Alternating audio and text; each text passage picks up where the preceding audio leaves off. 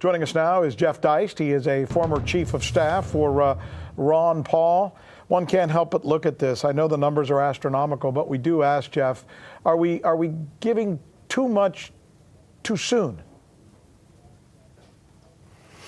Well, the numbers are astronomical, and markets didn't respond too well over the weekend to these numbers. I'm not sure that more narcotic, uh, more Viagra does much for the patient at this point. I'm sure you remember uh, Janet Yellen used to use the term pushing on a string.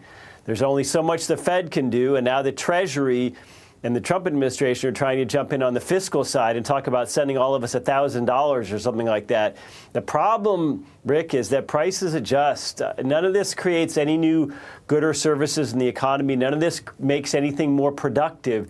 It's just more money. And frankly, right now, Americans and people in the West, they don't need more credit. They don't need more debt.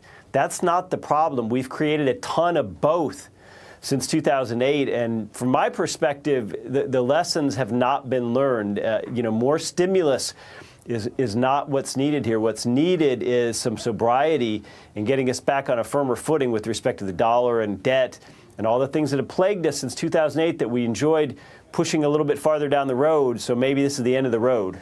What are the repercussions, though? Let's suppose that you're right. And yeah, there's a trickle up effect because of some of this uh, capital infusion. But at what cost? What, what might happen down the road that we all may end up wishing we hadn't done this for?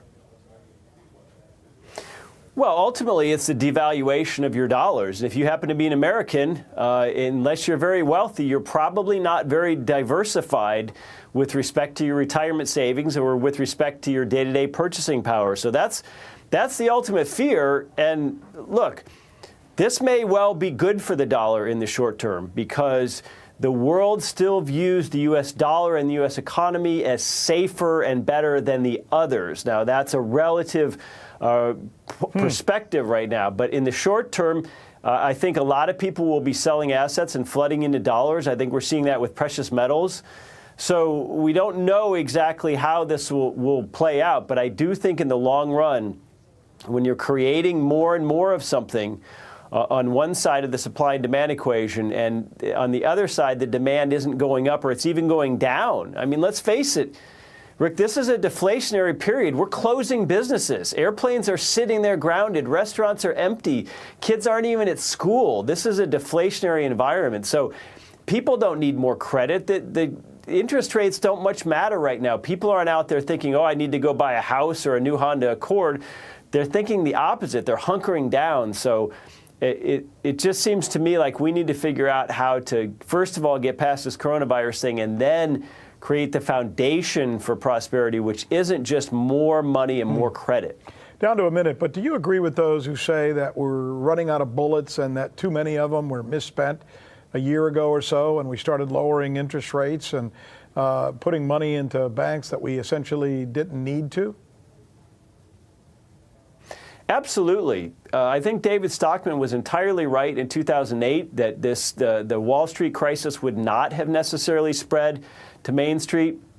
I mean, let's think just, just a little more than 10 years ago. Interest rates were at 4 and 5%, so the Fed had a lot of rate cutting it could do. It had a lot of ammunition. And today, I think it's, it's basically run out of ammo. And I think pretty soon you're going to hmm. see Chairman Powell and other people at the Fed say, you know, this is all we can do, and they're going to kick it over to the fiscal side. Mr. Deist, you're a great guest. Thanks so much for being with us. Thank you.